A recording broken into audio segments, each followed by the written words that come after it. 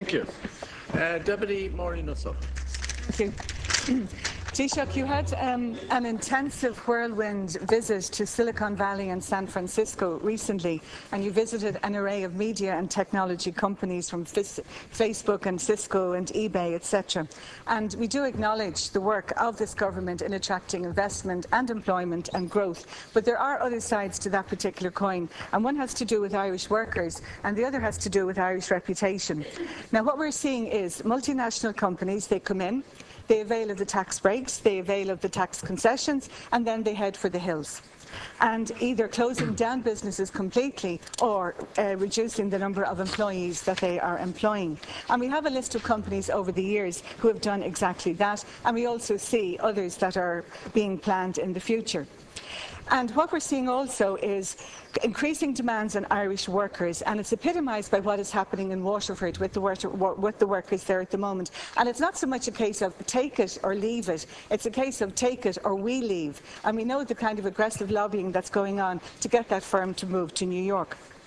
We see the erosion of hard-won workers' rights because of these companies. And workers' rights in terms of salary and wages, in terms of health and safety or conditions. And the editorial in the Examiner put it very succinctly, saying that globalisation is ruining workers' job security. So we have to ensure that we get worthwhile employment that's not at the whims of foreign national, multinational companies and foreign investment. And I think one of the strategies and one of the answers is that there's a greater support of small and medium businesses in this country because the statistics are there that they're the ones who are more reluctant to let their employees go in difficult times. So that means tackling the issues that they have identified as being difficulties. So, for example, access to adequate finance, sustainable cash flow, the upward-only rents, microfinance, seed capital scheme, etc., and the public procurement issue. So my question is, will the government commit to the same assertive or aggressive tackling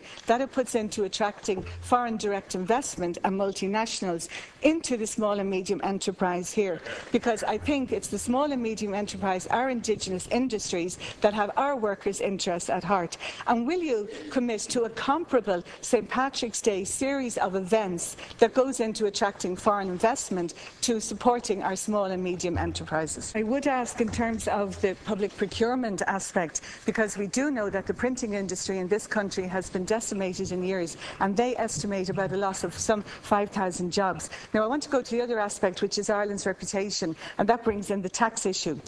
I think multinationals' idea of social responsibility equals more profit for their shareholders. How do they get more profit for their shareholders? Well, they pay their workers less and they pay less tax. And we do know that multinationals are very adept with very aggressive forms of tax avoidance by channeling revenue through subsidiaries in countries, unfortunately, like Ireland and the Netherlands, with various techniques that they use, known as double Irish and Dutch sandwich. Um, Ireland has been a voice internationally against against illicit flight capital from the countries of the developing world. But I think we have to lead by example, and I think we have to see and cooperate with what the OECD are doing and the European Commission. Now, the OECD is calling on all G20 states to implement the 15-point guideline in its action plan in relation to base erosion and profit shifting. So I want to know, will the government confirm which key aspects of that plan it will be implementing and ensure that multinationals comply so that Ireland does not facilitate tax avoidance by multinational companies. Thank you. Um, I'll say to you, uh, um, Deputy Sullivan, the um, wages on average in uh, IDA companies here in Ireland are much higher actually than elsewhere in the economy. Survivorship among multinational companies is as, is as strong as it is in Irish companies. Obviously, markets change and pressures are, uh, pressures are, are, are, there all the time. But uh, Ireland's spend on Irish companies is actually much higher than it is in respect of uh, multinationals. It's not one or the other. It's not either or. You need both. Um, and obviously multinationals being here uh, create opportunities for uh, niche contractors to supply services and, and, goods to them, which is very important. Uh, in respect of the base erosion profit shifting, uh, we've been very much upfront about this. Uh, last October in the, in the budget, uh, Minister abolished the stateless concept Uh, clearly, there's an international issue here uh, in respect of uh, the digital world having moved very much ahead of the legislative world. And that's why Ireland, among the countries of the European Council and the European Union, have been very much up front here in working with the European Commission and in working with the OECD uh, to deal with this in an international way so that there's an international response uh, to, the, uh, to the issue. Uh, the different sectors that are represented on the many committees are attended and contributed to by Ireland.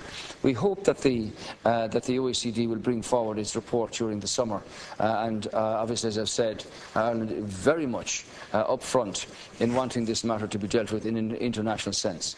And this is not about the rate of corporation tax. It is about the issue of tax in general uh, and we are participating fully and comprehensively uh, to that.